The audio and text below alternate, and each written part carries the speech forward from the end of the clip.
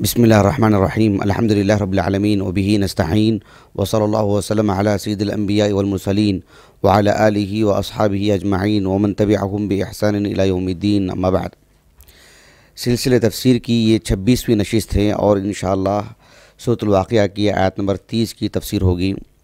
اللہ رب العالمین نے اصحاب الیمین، جو اہل جنت کے دو طبقات کا، دو طبقات میں سے دوسرا طبقہ ہے، اصحاب الیمین۔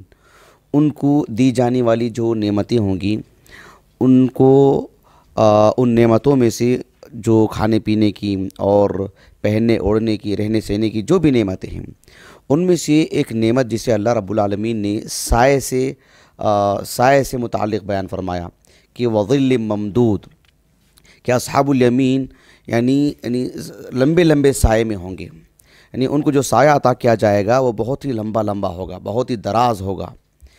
یہ جو ایک نعمت ہے رب العالمین کی، ہم اس دنیا میں بھی محسوس کرتے ہیں کہ سایہ کی جو اہمیت ہے انسان کے لیے، جانوروں کے لیے، سبھوں کے لیے، اس کی بہت ہی اہمیت ہے۔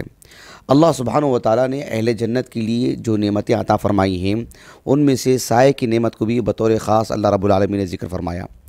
اب غور کیجیے، یہ جو سایہ ہے، ایک تو اہل جنت کو عطا کیا جائے گا اور یہ ہمیشہ رہے گا۔ اور اس خط، اس حد تک جو ہے وہ پھیلا ہوا رہے گا کہ یعنی اس کا یعنی اختتام کہیں نظر نہیں آئے گا۔ یعنی ایک ایک اہل جنت کی جو اللہ رب العالمین نے اس کے لیے جو جو تیزی رکھی ہے یہاں سے وہاں پہنچنے کے لیے، بطور مثال بھی اللہ کے رسول نے بیان فرمائی صلی اللہ علیہ وسلم، اس کی وسعت بتانے کے لیے۔ آگے میں حدیث بیان کروں گا آپ کو کہ کس قدر وسعت ہے اس کی۔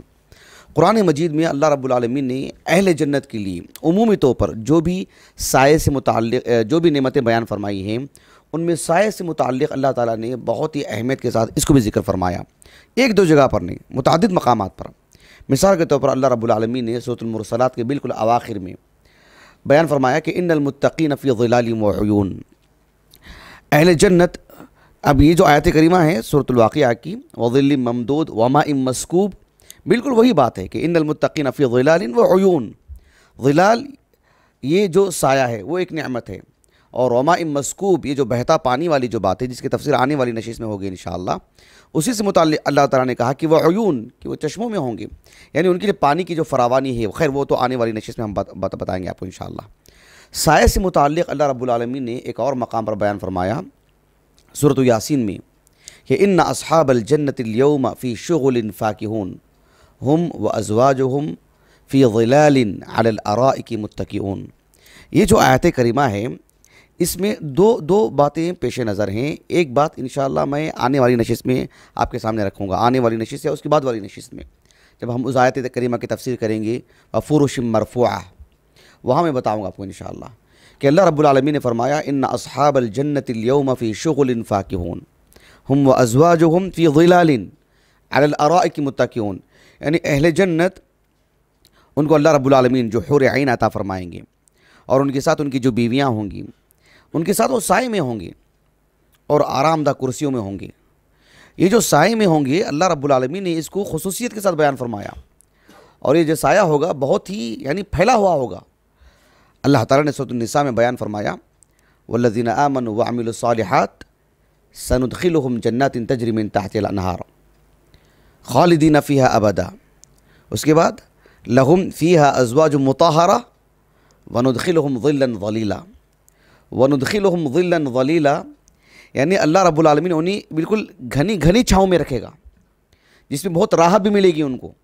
یعنی سایہ ایسا نہیں ہوگا کہ جس میں مطلب برد والی بات نہ ہو، ٹھنڈک نہ ہو یعنی معتدل موسم نہ ہو۔ اللہ تعالیٰ نے صوت الواقع میں بیان فرمایا صوت الدہر میں، لا يرون فيها شمسا ولا زمہریرا۔ ودانیت علیہم ظلالها وہاں نہ سورج کی تپش ہوگی یعنی سورج والی جو بات ہے وہ تو وہاں نہیں ہوگی، لیکن سایہ ہوگا۔ اللہ رب العالمین جو سایہ کو جو خلق فرمایا ہے، اسے جو پیدا کیا ہے، سورج ہونا ضروری نہیں ہے اس کے لیے۔ اس کے بغیر بھی اللہ سبحانہ و تعالیٰ اسے پیدا فرماتے ہیں۔ انسان کو پیدا کیا اس کے ماں باپ ہونا ضروری ہے اللہ رب العالمین کے لیے۔ اللہ رب العالمین نے انسان کو ماں باپ سے پیدا کیا، لیکن آدم علیہ السلام کو بغیر ماں باپ کیے۔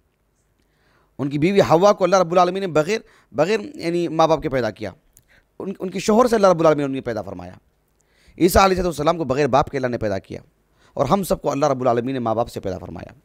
اللہ رب العالمین کی تخلیق کے سب مظاہر ہیں۔ تو اللہ نے کہا کہ لا یارون فیہا شمسن ولا زمہریرا۔ نہ وہاں کڑی دھوپ، نہ سورج وہاں وہاں موجود ہوگا۔ نہ سخت گرمی ہوگی اور نہ ہی سخت جاڑا ہوگا وہاں پر۔ ایک معتدل مزاج رہے گا، معتدل موسم رہے گا۔ جسے انسان خوشحال رہ سکے۔ قرآن مجید میں سائے سے متعلق اللہ سبحانہ و تعالیٰ نے متعدد مقامات مقامات پر اس بات کو بیان فرمایا ہے۔ اس لیے کہ اللہ رب العالمین کی یہ بھی مستقل ایک عظیم نعمت ہے۔ اور یہ جو وظل ممدود والی جو بات ہے، وظل ممدود، یہ ممدود والی جو بات ہے کہ اتنا اتنا پھیلا ہوا اس کا سایہ، اتنا پھیلا ہوا اس کا سایہ کہ ایک حدیث مبارکہ آتی ہے صحیح بخاری کی۔ صحیح بخاری اور صحیح مسلم میں یہ حدیث موجود ہے۔ صحیح بخاری میں انس بن مالک سے، ابو حریرہ سے سب ثابت ہے یہ۔ اور صحیح مسلم میں سہل بن سعد الساعدی رضی اللہ عنہ، ان سے حدیث آتی ہے۔ کئی ایک صحابہ اس حدیث کے راوی ہیں۔ اللہ کے رسول نے کہا صلی اللہ علیہ وسلم کہ ان نفل جنتی لشجرتن۔ جنت میں ایک درخت ہے۔ یسیر الراکب فیہا مئت عام لا یقطعها۔ یہ جنت میں ایک درخت ہے، اس کا جو سایہ ہوگا، اتنا پھیلا ہوا، اتنا پھیلا ہوا۔ اللہ کے رسول نے کہا صلی اللہ علیہ وسلم، یسیر الراکب فیہا مئت عام۔ سو سال والی جو بات ہے، اگر ہم اس دنیا میں جو رہتے ہیں، اس کی بھی اگر سو سال کی بات لگا لے جائیں یعنی ایک ایک ایک صدی کی بات، سبحان اللہ، چھوٹی موٹی بات نہیں۔ ہے ایک صدی کی بات۔ سو سال بھی اگر وہ برق رفتاری کے ساتھ چلتا رہے، تیزی کے ساتھ چلتا رہے لا یقطعوها، اس کو پار نہیں کر پائے گا۔ یعنی یہ ایک درخت کے سائے کی یہ بات ہوگی تو پھر جنت کا حال کیا ہوگا؟ سبحان اللہ۔ اس کی وسعت کتنی ہوگی؟ اور یہ ایک فرد کیوں نہیں دیا جائے گا درخت وہ؟ اللہ سبحانہ و تعالیٰ نے اس درخت سے متعلق جو بات کہی ہے، اہل ایمان سے متعلق، یہ ایک درخت کی اگر اتنی بات ہو تو پھر دیگر درختوں کی بات اور دیگر جو محلات ہیں، بہرحال اس سے ہم اندازہ لگا سکتے ہیں جنتی وسعت کا۔ یہ جو حدیث مبارکہ ہے سنن ترمیزی کی ابواب الجنہ میں بھی ہیں۔ متعدد صحابہ اس کے راوی ہیں۔ ابو سعید الخدری رضی اللہ عنہ بھی اس حدیث کے راوی ہیں۔ وہ اس حدیث کو بیان کرنے کے بعد کہتے تھے کہ وَذَلِكَ الظِّلُّ الممدود۔ یعنی اس حدیث کو بیان کرنے کے بعد کہتے کہ جو ہے، یہی بات ہے جو اس آیت کریمہ میں بتائی گئی ہے کہ وظل ممدود۔ حتیٰ کہ ابو حریرہ رضی اللہ عنہ صحیح بخاری کی جو حدیث ہے، کتاب التفسیر میں، اس حدیث اس حدیث مبارکہ کو سنانے کے بعد کہتے تھے کہ فقر او انشئتم فقر او انشئتم یعنی اس آیت یہ جو حدیث مبارکہ میں نے جو آپ کو سنائی ہے اللہ کے رسول کی، اس اس حدیث مبارکہ کو اگر آپ آیت کی شکل میں دیکھنا چاہتے ہو، قرآن مجید میں، تو اس آیت کریمہ کو پڑھو۔ وظل ممدود، یہ معنی اس کا۔ وظل ممدود، اتنا جو ہے، سبحان اللہ، عظیم سایہ ہوگا اس کا۔ یہ جو ابن جریر طبری رحمہ اللہ کی جو تفسیر ہے، جامع البیان، اس میں بھی آپ اس حدیث مبارکہ کو اپنی صنعت سے لائے ہیں۔ ابو حریرہ سے ہی، رضی اللہ عنہ۔ لیکن اس کے آخر میں اس اس درخت سے متعلق کہا گیا کہ شجرت الخلد. حالانکہ جنت بھی ہمیشہ رہے گی. جنت کا جو عمومی تعارف ہے، خالدین فیہا ابدا، جس کی کچھ تفصیل میں انشاءاللہ یعنی جو اس کی بعد والی جو نشست ہے، اس میں میں بیان کروں گا انشاءاللہ. وفا کے حتین کثیرہ، لا مختوعۃ ولا ممنوعہ، وہاں میں بتاؤں گا انشاءاللہ. تو جنت کا عمومی تعارف یہی ہے، خالدین فیہا ابدا، کہ ہمیشہ ہمیشہ رہنے والی چیز ہے یہ. لیکن اس درخت سے متعلق خصوصیت کے ساتھ بھی یہ بات کہی گئی ہے جس طرح سے اللہ رب العالمین نے فرمایا کہ ولدان مخلدون مخلدون، اس کے اندر دوام کا بھی معنی آتا ہے، اس کے دیگر معنی بھی ہیں اس کے اندر، جس کی ہم نے تفسیر کر دی ہے۔ تو خالدی نفیہ جنت کی عمومی صفت ہے، لیکن اس درخت کو بھی شجرت الخلد کہا گیا ہے۔ لیکن اس درخت کا جو حقیقی نام ہے، وہ کیا نام ہے؟ اس کا نام ہے طوبہ ایک حدیث مبارکہ ہے، مسند احمد کی اور امام طبرانی رحمہ اللہ کے المعجم الکبیر میں اور اسی طرح سے ابن عب عاصم رحمہ اللہ السنہ میں حدیث کی متعدد کتابوں میں حدیث موجود ہے۔ ایک صحابی ہیں، ان کا نام ہے عطبہ عطبہ بن عبد السلمی رضی اللہ عنہ۔ حافظ بن حجر رحمہ اللہ نے تقریب التہذیب میں جو رمز لگائے ہیں، دال اور قاف کا یعنی سنن ابی داود اور سنن الماجہ میں ان کی روایات ہیں۔ یہ جو عطبہ بن عبد السلمی رضی اللہ عنہ ہیں بنو قریدہ کا جو غزوہ خندق کے بعد کا جو جو مارکہ تھا نا، اس اس وقت ان کا جو پہلا مارکہ تھا یہ۔ تو گویا کہ اسلام قبول کر چکے تھے، لیکن کم عمر تھی ان کی۔ پندرہ سال بھی عمر نہیں تھی ان کی اس وقت، خندق کے موقع پر۔ اللہ کے رسول صلی اللہ علیہ وسلم کے انتقال کے کافی کافی زمانے بعد انتقال ہوا ان کا، تقریباً اسی ہجری کے بعد۔ عطبہ بن عبد السلمی رضی اللہ عنہ، یہ جو حدیث میں آپ کو سنانے جا رہا ہوں، مسند احمد سے براہ راست۔ یہ کہتے ہیں کہ اللہ کے رسول کے پاس صلی اللہ علیہ وسلم ایک عربی آئے۔ ایک دیہاتی مدینہ کے باہر سے۔ وہ جب آتے تو ان کے سوالات بڑے عجیب ہوتے اور بلکہ صحابہ خود خوش ہوتے کہ یہ آتے تو بڑے بہت اچھا ہوگا۔ یہ آئیں گے، کھل کے سوالات کریں گے اور جو ہے کچھ پھیلے ہوئے سوالات کریں گے، جو اور جرت سے سوالات کر دیں گے اس طرح سے۔ تو یہ آئے اور آ کر کے طرح طرح کے سوال کیے۔ حوض سے متعلق، حشر کے میدان سے متعلق، پھر جنت کا بھی ذکر ہوا۔ جنت سے متعلق متعدد باتیں آئیں اور یہ ایک ایک ایک ایک کر کے سوال کرتے رہے۔ بڑی دلچسپ حدیث میں ساری حدیث تو نہیں سنا سکتا میں۔ لیکن اس میں انہوں نے ایک سوال یہ بھی کہا کہ کہا کہ جب جنت کی بات آئی تو کہا کہ اللہ کے رسول، کیا جنت میں درخت پھل بھی ملیں گے؟ فیا فاقی ہے تم کیا اس میں پھل بھی ملیں گے اس میں؟ اللہ کے رسول نے کہا صلی اللہ علیہ وسلم، نعم۔ وفیہ شجرت تدعا طوبہ اس میں ایک درخت بھی ہے جس کا نام ہے طوبہ تو یہی درخت مراد ہے اس سے۔ حافظ بن حجر رحمہ اللہ نے جو صحیح بخاری کی کتاب بدی الخلق ہے، اس میں بھی یہ حدیث مبارکہ موجود ہے۔ یہ حدیث نہیں، اس سے پہلے والی حدیث۔ ان فی الجنت لشجرتن یسیر راکب فیہا میات عام، وہ حدیث۔ اس حدیث کی شرح کرتے ہوئے ابن حجر رحمہ اللہ نے کہا کہ هذا هو المعتمد۔ یعنی اس درخت کا نام جو طوبہ ہے نا، یہی وہ درخت موجود ہے۔ یہی وہ درخت ہے۔ اسی درخت کا نام طوبہ ہے۔ کیوں؟ اس لیے کہ ان فی الجنت شجرتن والی جو بات ہے، جو نکرہ ہے نکرہ ہے نا۔ تو اس سے بعض اہل علم نے یہ مفہوم لیا کہ شجرت نکرہ ہے تو متعدد درخت ہوں گے۔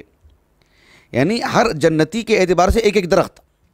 اور پھر حسب ضرورت، حسب خواہش ایک درخت۔ اسی لیے وہ نکرہ ہے۔ یہ معنی بعض اہل علم نے لیا۔ ابن حجر رحمہ اللہ نے کہا کہ نہیں هذا هو المعتمد۔ کہ یہی وہ درخت ہے اور یہی معتمد بات ہے اور یہی درست ہے۔ اس حدیث مبارکہ سے متعلق ابن حجر رحمہ اللہ نے فتح الباری میں اشارہ کیا ہے بس اور سکوت اختیار کیا ہے اس کی صحت پر آپ نے گفتگو نہیں کی۔ لیکن مسند احمد کی جو محققین ہیں، شیخ شعیب ناؤت رحمہ اللہ کی جو زیر نگرانی جن اہل علم نے کام کیا، انہوں نے بس اتنا لکھا کہ اسنادہ قابل للتحسین۔ لیکن شیخ محمد ناصر البانی رحمہ اللہ نے ظلال الجنہ فی تخریج سنہ اس کا نام بھی ظلال الجنہ۔ تو اس میں آپ نے مفصل گفتگو کی، حدیث نمبر ہے سات سو سولہ۔ اس حدیث کی تخریج میں آپ نے مفصل کلام کیا، شیخ البانی نے رحمہ اللہ۔ بات حدیث صحیح ہے، لیکن آپ مراجعہ ضرور کریں، ضرور دیکھیں، کیونکہ اس میں بہت تفصیلی بات ہے۔ اور کچھ حدیث کا علم رکھنے والے طلباء کے لیے اور جو ہے اصول حدیث سے واقف رہنے والے طلباء کے لیے بہت مفید باتیں ہیں، اس میں زائد باتیں بھی، اس لیے بتا رہا ہوں میں آپ کو۔ تو بہرحال یہ حدیث سندن صحیح ہے، جس میں اس اس درخت کا نام طوبہ جو جو جو ذکر ہوا ہے۔ اس آیت کریمہ سے متعلق ایک بات میں آپ کو یہ بھی بتا دوں کہ اللہ رب العالمین نے فرمایا، وظل ممدود۔ یہ جو سائے والی جو بات ہے، حدیث مبارکہ ہے، متعدد آیات ہیں، جس میں اللہ رب العالمین نے سائے کا ذکر فرمایا ہے، لیکن حافظ بن حجر رحمہ اللہ نے فتح الباری میں جو ابو العباس القرطبی ہیں، صاحب المفیم ان کے حوالے سے آپ نے نقل کیا ہے۔ اور میں نے المفیم بھی دیکھا میں۔ بات یہ ہے کہ جو ابو العباس القرطبی ہیں، ہم جانتے ہیں کہ یہ سب محدثین، شارحین حدیث، لیکن ان سب میں اشعریت بھی ہے۔ یہ اللہ سبحانہ و تعالیٰ کی صفات میں تعویل کرتے ہیں اور بہت کچھ غیبی امور میں بھی یہ کچھ کچھ تعویل کرتے ہیں۔ لیکن بڑے علماء ہیں، معروف علماء ہیں، جن سے ہم استفادہ کرتے ہیں۔ لیکن جو ہے یہ اشعریت بات کے دور میں جو آئی تو ان کی کتابوں میں بھی ہمیں دکھائی دیتی ہیں۔ کہنے کا مقصود یہ ہے کہ جو یہاں فی الحال جو تنبی کرنا ہے، مجھے وہ یہ کہ یہ جو آیات کریمہ ہے، وظل ممدود اور سائے سے متعلق جو متعدد آیات، احادیث ہیں یہ ابو ابو العباس القرطبی رحمہ اللہ نے کہا، سائے سے مراد وہ سایہ نہیں ہے جسے ہم دیکھتے ہیں دنیا کے اندر۔ وہاں سائے سے مراد یہ ہے، جسے اللہ کے رسول اللہ کے رسول کی جو حدیث ہے نا صلی اللہ علیہ وسلم، یہی حدیث، فی ظلہا فی ظلہا، یسیر الراکب فی ظلہا۔ تو فی ظلہا سے مراد ظل سے مراد سایہ نہیں ہے، بلکہ نعمت مراد ہیں۔ فی ظلہا یعنی فی نعیمہا، وفی راحتہا۔ اس کا کیا مطلب ہے؟ اس کی نعمتوں میں وہ چلتا رہے گا، یہ معنی ہے۔ یعنی اس کا انہوں نے یہ معنی لے لیا ہے کہ ظل سے مراد راحت مراد ہے، نعمت مراد ہے، خوشحالی مراد ہے۔ یعنی اس خوشحالی سے وہ جتنا بھی لے سرور حاصل کرتا رہے، وہ وہ خوشحالی کبھی ختم نہیں ہوگی۔ یہ معنی۔ جیسے عربی زبان میں بطور محاورہ کہا جاتا ہے یعنی یعنی عائش الظلیل عائش الظلیل اس کا مطلب یہ ہے کہ خوشحال زندگی۔ خوشحال زندگی سائے دار زندگی نہیں۔ تو یہاں پر وظل ممدود سے مراد یہ ہے کہ جو یہ مطلب خوشحال زندگی ہوگی۔ یہ معنی ہے اس کا۔ یا تو یہ معنی ہوگا اس کا ناحیت جانب کے معنی میں۔ یعنی وہ ہمارے پہلو میں ہے، وہ ہمارے بازو میں ہے، وہ ہمارے قرب و جوار میں ہے۔ انفی ظلک کہا جاتا ہے عربی زبان میں انفی ناحیتک۔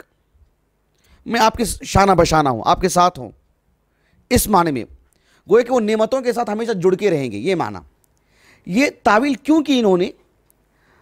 یہ جو ابو عباس القرطبی رحمہ اللہ ہیں، انہوں نے خود بتایا اس بات کو کہ یہ تعویل کی ضرورت کیوں پڑی؟